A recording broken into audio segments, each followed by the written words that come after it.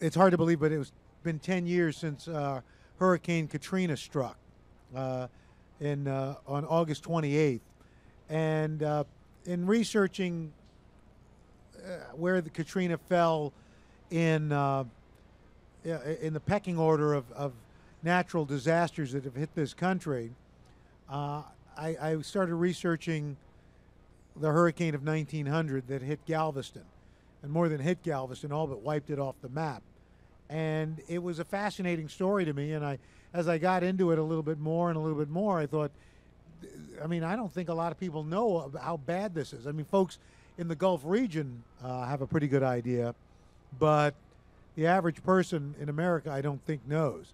And the more I researched it, the the more deeply into it I, I got. So. I decided, you know, maybe I could make a book out of this, but uh, I, I have limited skills uh, as you, you, probably see every morning. So um, I, I, hired a guy, his name's Bill Hogeland, who's a wonderful author in his own right, but is a marvelous researcher. And as he delved into this and he would shuttle me information, I, the more I saw, the more I, I became fascinated by this, and the more I, I decided this was a terrific story because Galveston represented a lot of this country at the turn of the century. A can do attitude, uh, a, a, belief that we were masters of our domain, that we could take anything and make it better. Uh, Galveston, uh, 100 years earlier, less than 100 years earlier, uh, was a, a, sandbar that was the headquarters for Jean Lafitte the pirate. Uh, and a few decades later, it was a uh, center for shipping, for cotton, for uh, industry. Uh, it's a, it was a town, a city of 37,000, yet it had per capita more millionaires than any place in America. First electric lights were strung in Galveston. Street lights were strung in, in Texas, were strung in Galveston.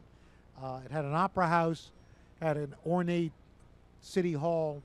Uh, it was by many uh, many people's uh, approximation, it was the Paris of the South, and uh, the preeminent, the largest, the largest U.S. Weather Bureau outside of Washington D.C. was located in Galveston. Uh, it was bigger than New Orleans. It was really, in a sense, the epicenter of shipping along the Gulf Coast, and so, uh, and they had had hurricanes before. They had had storms, but they've always they had always weathered them. They had always uh, dealt with them. There was a belief that a major hurricane could not hit Galveston, could not hit along the Gulf Coast. That these storms had a natural curve, and that uh, Texas was not part of that curve. So, adding to that, uh, there was a belief at the U.S. Weather Bureau that they were the supreme forecasting entity in North America, and if not the world. Yet, in fact, uh, the Cuban government, and not even the Cuban government, but the Jesuits in Cuba had actually the foremost forecasting center for Caribbean hurricanes. However, the U.S. Weather Bureau, the head of the U.S. Weather Bureau, did not believe in consulting with the Cubans, did not want people thinking the Cubans were superior to them. So basically shut down the Cuban forecasts that were coming out of Cuba because the U.S. controlled the telegraph lines.